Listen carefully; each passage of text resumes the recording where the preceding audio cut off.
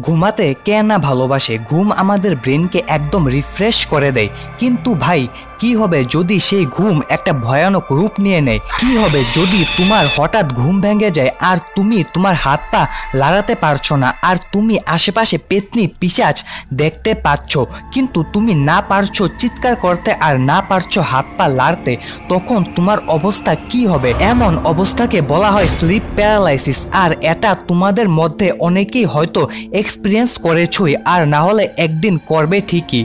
আমি যদি একদম সিম্পল বাংলা ভাষায় বলি, তাহলে স্লিপ প্যারালাইসিস হলো সেই অবস্থা যখন তোমার ঘুম হঠাৎ ভেঙে যায় আর তুমি সব কিছু দেখতে পারছ, শুনতেও পারছ, কিন্তু হাত পা লাড়াতে পারছ না আর তোমার শ্বাস নিতেও কষ্ট হচ্ছে।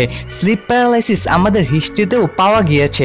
তখনকার সময়ের মানুষ স্লিপ প্যারালাইসিসকে এইভাবে বুঝিয়েছে যে, যখন তুমি ঘুমিয়ে থাকো, তখন তোমার বুকের উপর ভূত, আত্মা পিসাচ এসব এসে বসে বসে থাকে, যেটা এখনও অনেক মানুষ মেনে থাকে, কারণ তারা সাইন্টিফিক্যালি রিজনটা জানেই না যে এমন এক্স্যাক্টলি হয় কেন। তোমরা তো এটা জানোই, আমাদের ব্রেন আমাদের বডিকে কন্ট্রোল করে, আর যখন আমরা ঘুমিয়ে যাই, তখন আমাদের ব্রেন আমাদের সম্পূর্ণ বডিকে প্যারালাইজড করে দেয়, যাতে আমরা ঘুমের মধ্যে স্বপ্ন দেখতে দেখতে হাত পা লাড়াচাড়া দিয়ে বা ঘুমের মধ্যে এদিক ওদিক হাঁটাহাঁটি করে আমাদের শরীরের কোনো ক্ষতি না করতে পারি। এক কথায় বললে, এটা আমাদের শরীরের একটা সেফটি একটি ফিচার হিসেবে কাজ করে যখন আমরা ঘুমিয়ে থাকি। কিন্তু অনেক সময় যখন আমরা বেশি স্ট্রেসড ডিপ্রেসড বা বেশি টেনশনে থাকি, তখন হঠাৎ ঘুম ভেঙে যায়। যখন আমরা ঘুমের একদম গভীর স্টেজটাই থাকি, যাকে বলা হয় রেপিড আই মুভমেন্ট আর এটা সেই স্টেজটাই যখন আমরা স্বপ্ন দেখি, আর তখনই আমাদের শুধু ব্রেনটা জাগ্রত থাকে, আর বাকি শরীর ঘুমন্ত অবস্থায় থাকে। আর যখন এই স্টেজে কেউ ঘুম হঠাৎ ভেঙে যায়, তখন সে শুধু দেখতে আর শুনতে পারবে, এছাড়া অন্য কোনো বডি পার্ট লাড়তেও পারবে না। কারণ আমাদের শরীর জানেই না যে আমরা জেগে গেছি, আর স্বপ্নে দেখা সেই ইমাজিনারি আত্মা, ভূত পিসাচ এইসব বুকের উপর চেপে ধরে রেখেছে এমন মনে হয়। আর আশেপাশে নানা রকম কিছু ভয়ানক সাউন্ডও শোনা যায়। যদি তোমার সাথেও এমন কোনোদিন হয়, তাহলে তুমি না ঘাবড়িয়ে তোমার শরীর জাগার জন্য অপেক্ষা করো। আওমাও করে চিৎকার করো না, আর তুমি চিৎকার করতেও পারবে না। এর থেকে এটাই ভালো, তুমি একটু অপেক্ষা করো, দেখবে সব নর্মাল হয়ে যাবে। এই প্লেটটা দেখো, এটা খুবই রহস্যময় একটা প্লেট, কিন্তু কেন? যদি জানতে চাও, তাহলে ভিডিওটা শেষ অবধি দেখো। আজকের ভিডিওটাই এমনই কিছু ব্যাপক ফ্যাক্টস জানতে পারবে, যা শুনে তোমাদের ব্রেন নাচতে শুরু করবে। নাম্বার এইটিন নিউজ পেপার একবার পড়ে ফেলার পর সেই পেপারটা ঘর থেকে কোন কোন জায়গায় না চলে যায়। বিয়েবাড়ি ডাইনিং টেবিল থেকে মদ খাওয়ার জন্য নিয়ে আসা চানাচুরে পুটলা অবধি। কিন্তু জাপান গভর্নমেন্ট তাদের দেশের পরিবেশের দিকে নজর রেখে নিউজ পেপারের মধ্যে নানা রকম গাছের বীজ এমন পদ্ধতিতে লাগিয়ে দিয়েছে যে, যখন কেউ সেই নিউজ পেপারটা পরে ফেলে দেবে, তখন সেই পেপারটার বীজটা থেকে গাছ জন্মাবে। নাম্বার সেভেন্টিন কোনো কিছু কেনার সময় আমরা অনেক সময় কনফিউজ হয়ে যাই গ্যারান্টি আর ওয়ারেন্টি এই দুইটার মধ্যে পার্থক্য কি? দেখো গ্যারান্টি হলো একটা সিউরিটি মানে বিক্রেতা তার গ্রাহককে এটা বিশ্বাস দেয় যে এই জিনিসটা খুব ভালো হবে। আর ওয়ারেন্টি হলো সেই জিনিসটার একটা নির্দিষ্ট টাইম দেওয়া। যদি সেই নির্দিষ্ট টাইমের আগে সেই জিনিসটা নষ্ট বা খারাপ হয়ে যায়, তাহলে সেই বিক্রেতা সেই জিনিসটাকে রিপ্লেস আর না হলে ঠিক করিয়ে দেবে।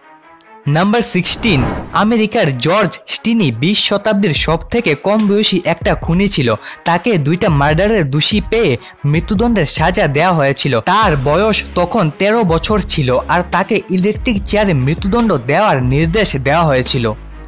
নাম্বার ফিফটিন গুহা নর্মালি এমন থাকে যেটা আমরা সবাই জানি, কিন্তু থাইল্যান্ডে একটা খুবই আলাদা ধরনের গুহা আছে, ঠিক এই রকম এটাকে দেখলে এমন মনে হয়, এটা কোনো বিশালাকার সাপ, আর দেখতেও খুবই ভয়ানক লাগছে।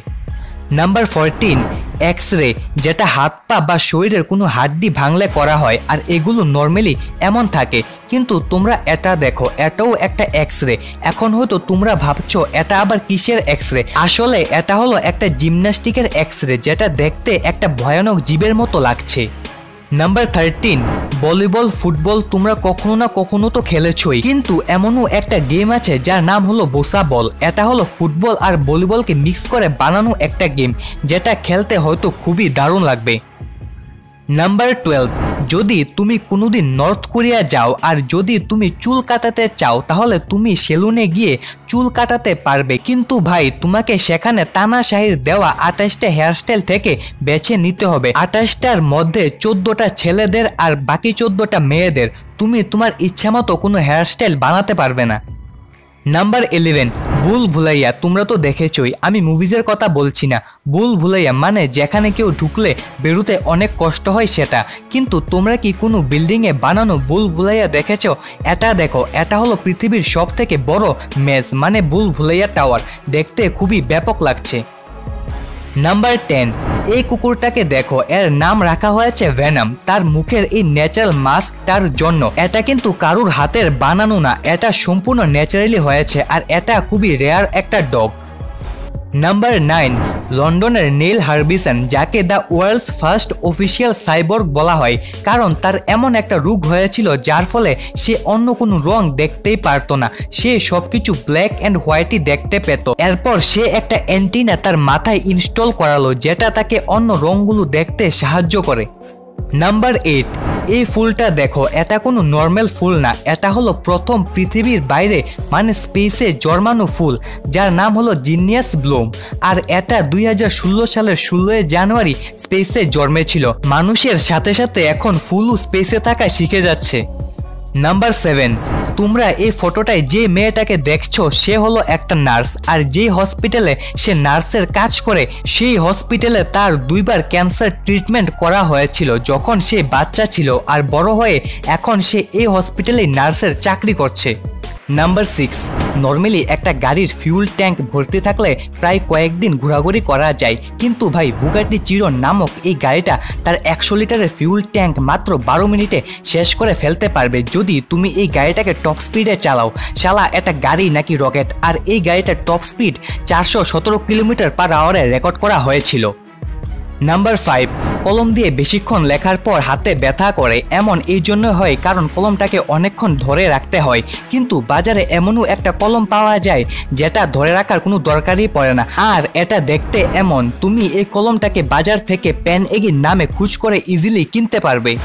নাম্বার ফোর এটা দেখো, এটা হলো একটা এলিফ্যান্টের বেবি আর এই বেবি এলিফ্যান্টটাকে ওয়ার্ল্ডের সব থেকে বিউটিফুল এলিফ্যান্টের ট্যাগ দেওয়া হয়েছে। দেখতে খুবই কিউট লাগছে, তাই না?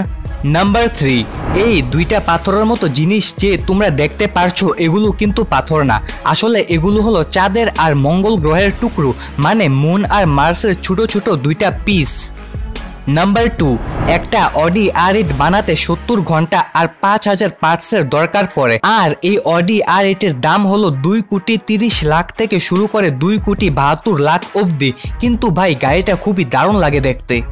নাম্বার ওয়ান তোমরা এই প্লেটটা দেখো, একটু ভালো করে দেখো। তোমরা কি কিছু দেখতে আর বুঝতে পেরেছ? যদি না বুঝে থাকো, তাহলে আমি বলছি, এই প্লেটটায় একটা হিডেন মেসেজ দেওয়া আছে। তোমরা সাইডে দেখো, কিছু ক্ষুধার্ত মানুষ তোমার ফেলে দেওয়া খাবারটার জন্য হাত পাচ্ছে যেখানে আমরা খাবার কিছু না ভেবেই নষ্ট করতে থাকি, সেখানে অন্য কোথাও কিছু মানুষ হতো তোমার এই ফেলে দেওয়া খাবারটুকু তাদের কপালে জুটে না। সো তুমি যতটুকু খেতে পারবে, ততটুকুই খাবার নিও। শুধু শুধু বেশি করে নিয়ে খাবার নষ্ট করো না। বাই